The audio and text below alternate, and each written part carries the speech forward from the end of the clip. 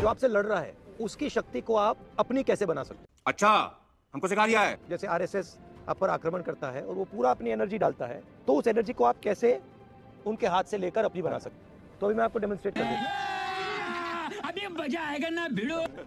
हाँ? या कम। बैठ जाओ इस पे बैठ जाओ। नाउ आप रोकने की कोशिश करो ठीक है? Can't be done. Now I'm going to tell him how to position himself to take the other person's energy from them. Okay?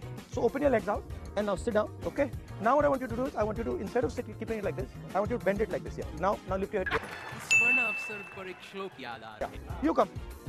Now what I want you to do is I want you to put your hand on your shoulder.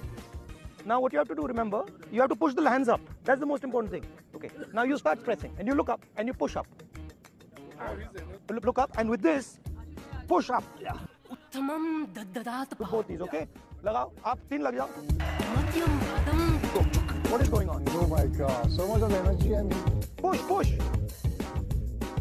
Sursuri प्राणघट how that feel for real strange. for a strange reason I could not feel the power at all. exactly तेजस्वी लोग हैं हमारे पास exactly because you took it all Yes. that's what i do to the bjp क्या बात है sir क्या बात है sir क्या बात ये बात है।